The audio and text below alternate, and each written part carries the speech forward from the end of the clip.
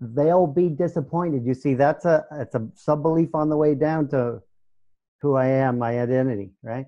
Yeah. So let's deal with that one. They'll be disappointed because that's a big one for our our kids. That's a big one for our kids. So we need to antidote that. Somebody who who I believe has expectations on me, parents, coaches. Right. If I don't meet their expectations, they will be disappointed. What's our antidote for that? Well, when they're just they're disappointed with, with you or for Yes. you, not, not in you. Yeah. Now that works great for the coaches and parents, but how about this business scenario? Doesn't work so well there, right? Right.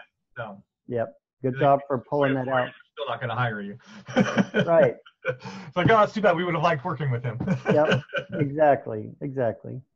But see what it it's what he makes it mean. We always, well, you guys, Right. whenever you want to formulate an antidote, what does it mean? In fact, you guys can just ask him these. You can just ask him. Just ask him, what does that mean to you? Yeah. If this, if X, Y, Z happens, what does that mean? Well, it means uh, they'll be disappointed. Okay, what does that mean? What does that mean? And see what you get and try to antidote things along the way. I mean, you know, as I've just reminded you, the bottom line is, you know, identity. Yeah. But we want to tackle the things along the way and zap them along the way, on the way down the rabbit hole. I just made up this rabbit hole metaphor. Maybe I said it once before, but Yeah. yeah, I think it works. Yeah. Yeah. Um, you know, partially uh, in in his situation, probably it's well, if I don't get this, if I don't hit, what is it, an interview or a presentation? What is it for? Interview. Yeah, interview. He's wants to be a product. He's trying to be a production manager for. So it's an interview for a job. Yeah. Right.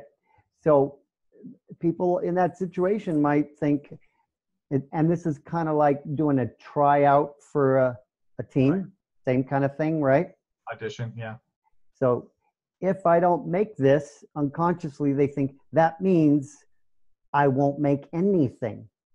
I can't get a job. I'm not good enough to get a job. I'm not good enough to make this team. Being more specific. Up, Right. we're a little bit up the rabbit hole, right? Yeah. And that's where you deadly accurate truth that. So if an interviewer for you, you want to go for a particular job and an interviewer does not choose you, what does that mean? They unconsciously think it means I'm not good enough for this job. No, that's not true. What is the truth? They have that the interviewer has certain values and things that they're looking for that you don't match up with their value. That they just they're, they're they don't And only according to his opinion. Only according to his opinion. And he's truth- he has gotten other jobs. He has got other, he has matched up. You know, those are have, he's worked out with other people. And so you just need to find the right person to work with. and and it's, it's even more uh, uh, there's even more truth it's entirely possible this could help him it's entirely possible that he is a match for this job it's entirely po- and this and this hr guy or whoever's interviewing him Right. is a moron and can't see it Yeah, that's good. see how that relates to a coach not Yeah. choosing you a coach not playing you Yeah. It could very well be the absolute truth. Michael Jordan's the perfect story for that. You have the talent. You you are a perfect match for this job, but you got a dude who woke up on the bad side of the his bed today, and you just happened to get your interview on that day with him. Yeah. Or he's a complete moron, doesn't belong in his position, and does not know how to evaluate talent. That's where I use. I also use uh, for the out, evaluate talent. Talent. I use the Joe Montana story. Three quarterbacks were. Ch- well, this is American football. Joe Montana is was named by ESPN as athlete of the 20th century. Not just best quarterback in his sport, athlete of the 20th century. And the story is that he was passed up for three other quarterbacks in the draft. He was drafted 81st. If the people whose number one job and millions of dollars are, are at stake, tens, hundreds of millions of dollars are at stake, at evaluating talent, and these people get it wrong. Huh. I wonder if maybe your coach isn't the best evaluator of talent on the planet.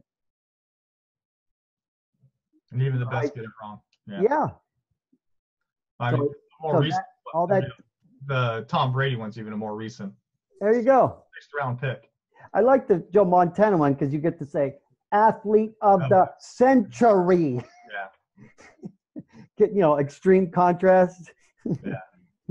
the more extreme you can get, the more it makes your point. Yeah. But Tom Brady's pretty extreme as far as yeah, missing on right. He, yeah, he was he was passed over in college and he was at the bench and all that stuff. And yep, Well, Portland's uh, the Portland Trailblazers still get ridiculed every year during draft week because they passed up Jordan. that's right.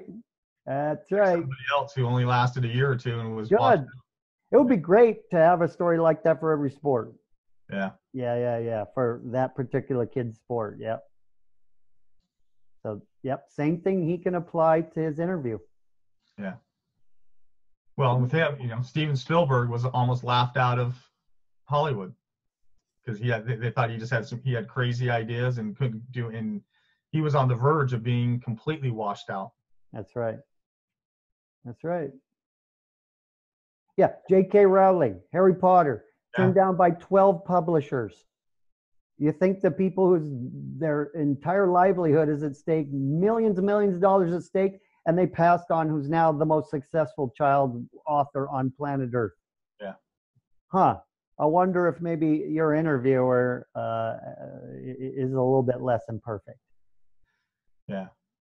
So, yeah, it's fact that we run into people like that who um, who get to choose, who get to make choices with regards to how we're going to interact. It's true,